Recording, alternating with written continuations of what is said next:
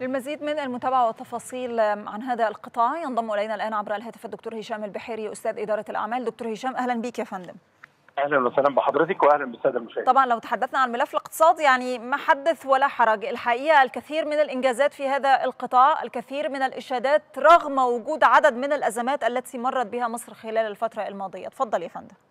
وفي الحقيقة يعني أنا هاخد من نهاية كلام حضرتك الحكومة المصرية الحالية كانت حكومة سيئة الحظ لأن مع مع بداية الحصاد الاقتصادي للإصلاحات الاقتصادية والسياسات الاقتصادية اللي حققتها الدولة خلال الفترة السبع سنوات الماضية آه واجهنا زي ما واجه كتير جدا من دول العالم أزمات آه منها أزمة كورونا ومنها أزمة ارتفاع سعر الدولار والاخيرا الحرب الأوكرانية الروسية. لكن آه في الحقيقة بالرغم من هذه الصعوبات الكثيرة ما زال الاقتصاد المصري ينبض وما زال الاقتصاد المصري لديه القدرة على مواجهة مثل هذه التحديات. في ملف الطاقة تحديدا اللي انت حضراتكم بتتكلموا عنه النهارده مصر يعني تفوقت تفوق كبير أدركت وزارة الكهرباء والطاقة أهميتها للوضع الاقتصادي بالكامل وصياغة مجموعة من الاستراتيجيات المتكاملة للطاقة الكهربائية على عدة محاور.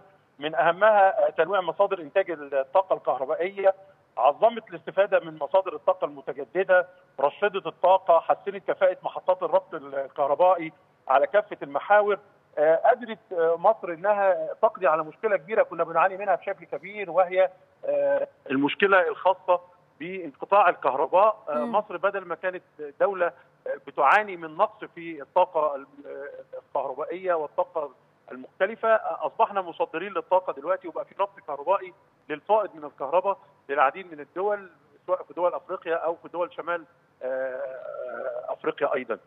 وبالتالي ملف الطاقة في الحقيقة يعني شهد تطور ونمو كبير جدا إنجازات كثيره جدا برضو إحلال الطاقة النظيفة التفكير أيضا في إقامة المحطات الصديقة للبيئة واللي بتحافظ على الاستدامه البيئية.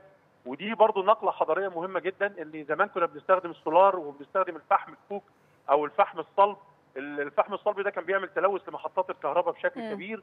مصر انتقلت إلى تشغيل محطات الكهرباء بالغاز الطبيعي وده طبعا يعتبر خدمة كبيرة جدا للبيئة وخدمة أيضا للاقتصاد وتوفير تكاليف التشغيل في محطات الكهرباء وفي مسائل صناعة الطاقة وتشغيل الطاقة بصفة عامة. صحيح يمكن إحنا بنتكلم 8 سنوات من أول ما تم أيضا يعني خلالهم برنامج الإصلاح الاقتصادي حتى هذه اللحظة والحقيقة إنه البعض تفاجأ خلال أزمة كورونا لما تم يعني وضع 100 مليار جنيه لهذه الأزمة أزمة فيروس كورونا في الداخل المصري يا دكتور نعم. والحقيقة إن ده يخلينا نعود إلى برنامج الإصلاح الاقتصادي ونتاجه الذي شاهدناه اليوم. نعم. في الحقيقة طبعا أزمة كورونا أزمة كانت أزمة كبيرة جدا. الحكومة المصرية أدارتها بشكل كبير جدا. يكفي إن إحنا عندنا بالرغم من عدد السكان الكبير ده اللي تم تطعيم نسبة 50% سواء جرعة أولى وثانيه وحاليا بيتم تغطية الجرعة الثالثة. ده في الحقيقة الملف ده اللي تم تغطيته. يعني كان الأداء فيه يشابه مش هنكون مبالغين الأداء اللي حصل في كثير من دول أوروبا وبالعكس ده في ناس شهدت شهادات دولية إن مصر استطاعت أن تتعامل مع أزمة كورونا بشكل أفضل من اللي واجهته بعض الدول الأوروبية. والحقيقة ده كان واضح بمعدل النمو اللي خرجت بيه مصر في هذين العامين يا دكتور.